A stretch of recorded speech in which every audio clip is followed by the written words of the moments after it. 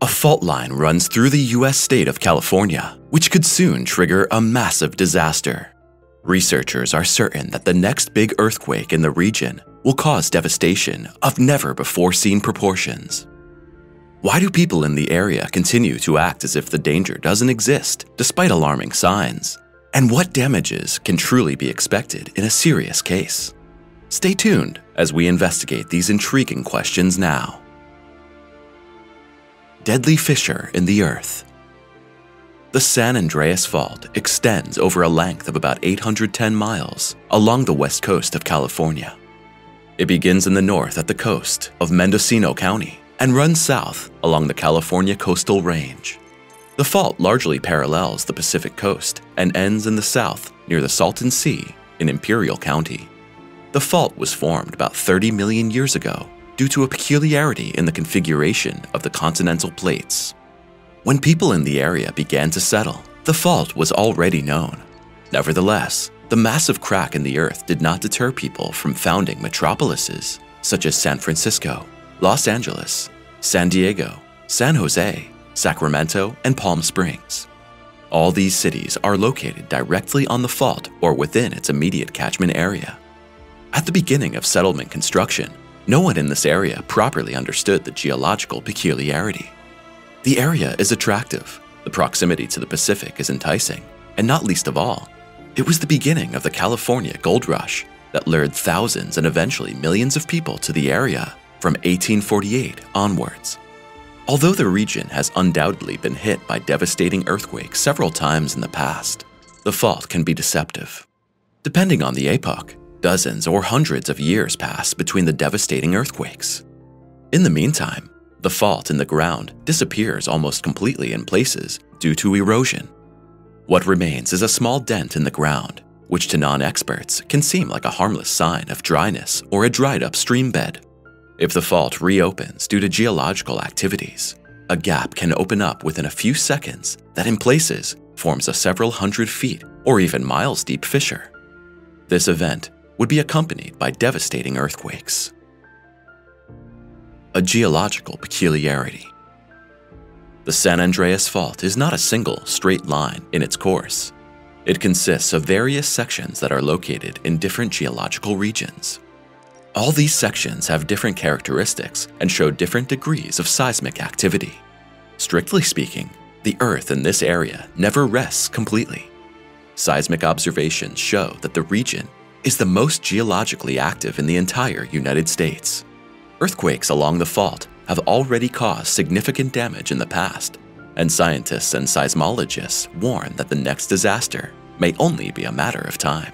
One may wonder why millions of people live in this area and live every day with the danger and fear. California residents are in constant tension. Experts suspect that living on a geological powder keg gives the residents of the area constant stress. Yet, most people are too established in this area to simply give up their home. It seems impossible to evacuate metropolises like San Francisco or San Diego. In the catchment area of the fault lie two of the country's most glamorous cities, and both are at risk of being permanently wiped out at any moment. Current measurements show far more than just the dawning of a terrible earthquake. Signs indicate that the fault could soon break apart entirely. That would mean that the coastal areas of California could slide miles out to sea. For some coastal cities, this would mean immediate extinction. Metropolises would be swallowed up by the earth with a jolt, and the people would be lost, unless they are warned in time. However, this is precisely where the further danger of the fault lies, because the early warning systems are unreliable. Uncertainty is omnipresent. The San Andreas Fault is more than just a tension zone between two tectonic plates. This geological anomaly is a massive fracture line in the Earth's crust. The fault extends from the northern end of the Gulf of California to western California. It then continues towards the Pacific Ocean in the area of San Francisco, where it dips beneath the ocean surface. The entire area to the left of the fault would be instantaneously drawn into the massive gap in the event of a rupture. The regions to the right of the fault could shift over the areas to the left that have dropped miles. Whole metropolises would simply sink and disappear. In particular, the regions at the foot of the San Andreas Fault are at risk, as a complete rupture is becoming ever more likely here. Even now, the tectonic movements periodically cause earthquakes. However, the worst disasters of the past are now seen by researchers only as warnings for what is inevitable. In 1906, a devastating earthquake laid much of San Francisco to rubble and ash. But the people, unknowingly, rebuilt the city. Since then, a lot has changed. The area has been geologically studied. The fault, its significance, and the danger it poses have been closely scrutinized by scientists. The warnings and awareness of the likelihood of further disasters have been present in people's minds ever since. However, at the times when the danger became known, it was already unthinkable to simply give up the flourishing settlement areas and large Pacific ports. For a long time, the fault was quiet, but in 1989, the Earth shook again in a threatening way. The quake was overall somewhat milder than that of 1906, and again people lulled themselves into safety.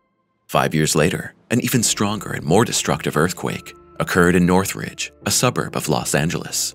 Northridge is located on one of the larger secondary fault lines of the San Andreas Fault, while the million people city and film metropolis Los Angeles is just 31 miles east of the main fault line and therefore directly in the danger zone. The disasters and minor earthquakes of the past have shown that the tremors do not always strike cities built directly on the fault. Communities such as Point Reyes, Frazier Park, Daly City, Desert Hot Springs, Gorman, San Bernardino, Wrightwood, Palmdale, and Bodega Bay are considered particularly at risk, but earthquakes and increased seismic activity have also been measured 31 and even more miles away. How likely is the disaster? At a recent National Earthquake Conference, the director of the Southern California Earthquake Center, Thomas Jordan, made a worrying announcement to the public. Jordan stated that the San Andreas Fault is in a very critical state and people must be prepared for a major earthquake at any time. NASA's measurements with satellites from space have shown that, in particular, the section of the fault in Southern California could give way at any time. This warning led to increased alertness among California's residents. But then, people are also again forced to go back to their normal lives. The people in California live constantly with the risk and fear, like all the people who have decided to build their homes and cities in risk areas or at the foot of active volcanoes. On the Canary Island of La Palma, people had to face the unpleasant truth in 2021. After over 50 years, the Cumbre Vieja had erupted again. Ash rain transformed the landscape into a burning desert, and lava flows inexorably made their way into the Atlantic. Dozens of houses were lost, plantations burned, and people as well as animals were in distress. Even luxury villas had to be abandoned by their residents from one moment to the next. Compared to the disaster that could be impending in California, the people on La Palma got off relatively well. Although the eruption came surprisingly, the evacuation worked flawlessly and safely. The island is a popular destination for vacationers and is also well inhabited, but it's rather sparsely populated compared to California. However, La Palma must also be a warning, as all early warning systems have failed. Scientists don't like to admit it, but the capabilities of seismological monitoring of the Earth and global early warning systems are anything but reliable. Almost none of the major volcanic eruptions or earthquakes that occurred in the last 20 to 50 years were predictable.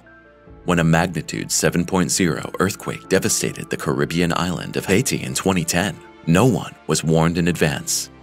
230,000 people died completely unexpectedly.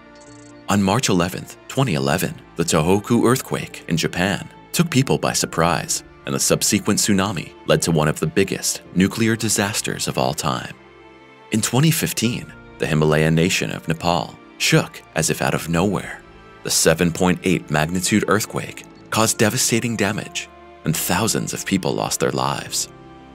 The last earthquake that triggered a global shock was on September 28th, the earthquake of the Indonesian island of Sulawesi. The tremor, with a magnitude of 7.5 on the Richter scale, additionally triggered a tsunami that killed over 4,300 people. The Southeast Asia region had already been hit by the largest tsunami of our time in 2004. The monstrous wave killed 230,000 people shortly after Christmas, many of whom were vacationing in warm climates. When the horror rolled in from one second to the next, So, it would be a fatal mistake to rely on early warning systems or to feel safe in the case of the San Andreas Fault. The silence before the catastrophe. The last time a large section of the San Andreas Fault broke off in the southern regions, the catastrophe was accompanied by an earthquake of magnitude 7.9. In 1857, a stretch of about 186 miles between Monterey County and the San Gabriel Mountains near Los Angeles was destroyed. According to Thomas Jordan, the fault was quiet in the days before the event. Too quiet.